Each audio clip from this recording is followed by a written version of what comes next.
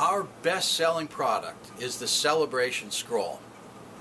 It measures 11 inches wide by 17 inches long and it comes with a gold foil seal that you'll sign right in front of your customers to certify that all the information is authentic.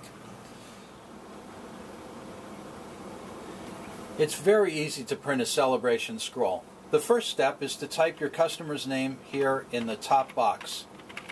In this case, we'll print out Mr. Sullivan's scroll. In this bottom section where we have the list of names, you'll notice that there are different instances for the name Sullivan.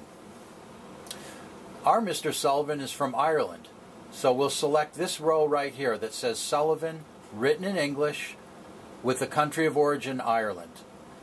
You'll click on that twice. You'll see that that name appears over here in the selected names box. We're going to make a product for Mr. Sullivan, so go up to your products button and click on that once. Now we're on our product page. You'll see three columns. And in the first column, category, you want to click on family name history. In the center column or product column, you'll click on celebration. And in the third column, size, there's only one option, so there's not much to do there. I wanted to draw your attention to this part of the screen down here. This drop-down box is the color of the background that's going to be printed on the product. There's different options there, from none, where there'll be no color, to parchment, yellow, and 1400. I think 1400 is the best color. So I'd leave that on 1400 and it will stay there for all the all the products that you print. This next button, ribbon, is three color or four color and it just doesn't matter which one is there. So just leave that one alone. So your settings are all set. Family name history, celebration, ledger, and you've got your background color set to 1400 and you want to print that. So click on print and up to this point you haven't spent any money on ticks.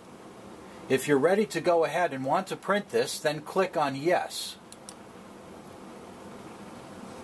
Now you'll see the same preview of the history that you showed your customer as a free preview. You'll want to print this, so click on the print button. And here's the name that will appear on the top banner. In this case, it's Sullivan. Be very careful to make sure that your customer agrees with how their last name is spelled. I know this sounds like a trivial point, but if your customer doesn't have their name at the top of the scroll, they're not going to want to buy it. So Mr. Sullivan likes how you've spelled his name you're going to click on OK. And on the bottom banner is the country of origin, which is Ireland.